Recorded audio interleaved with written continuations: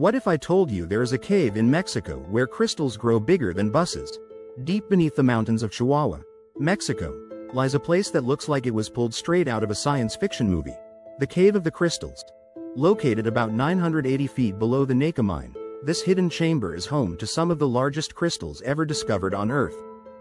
Imagine walking through a natural cathedral where giant crystal pillars, some stretching up to 36 feet long and weighing 55 tons, surround you like glass skyscrapers. But this beauty comes with danger.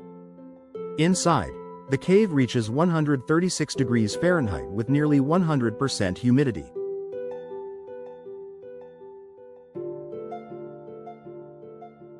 Conditions so extreme that humans can only survive for about 10 minutes without special cooling suits. Scientists exploring the cave wear ice-packed suits and breathing gear just to study its secrets.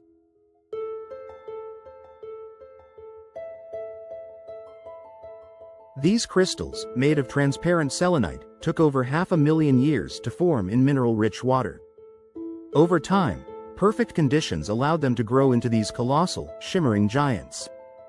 Scientists believe the crystals formed over 500,000 years, growing slowly in mineral-rich water.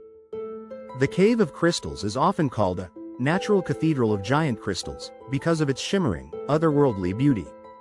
Unfortunately, due to its deadly heat and humidity, it's not open to the public, only scientists with special gear can enter.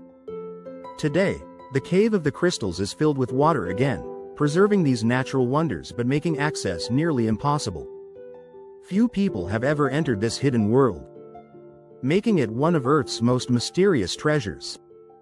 The Cave of the Crystals is more than just a cave, it's a window into the power and patience of nature.